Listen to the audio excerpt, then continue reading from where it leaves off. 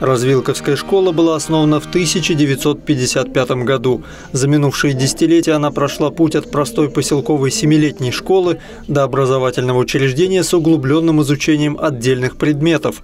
Более 50 лет своей жизни здесь трудилась ветеран образования Галина Семеновна Рубинская. Был мой первый выпуск в 1960, в 1969 году. И вот 1967 года я бессменно 50 лет работала в Развилковской школе. В одном здании, во втором, в третьем.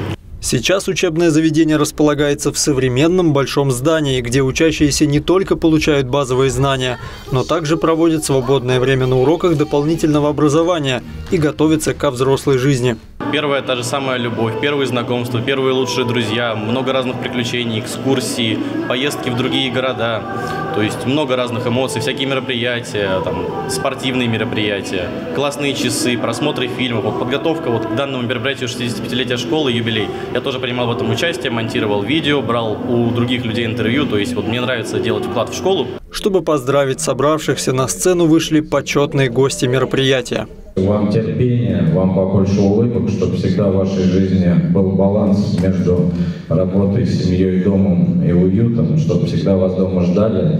Ну и, конечно, хороших э, учеников. Любая школа – это как второй дом.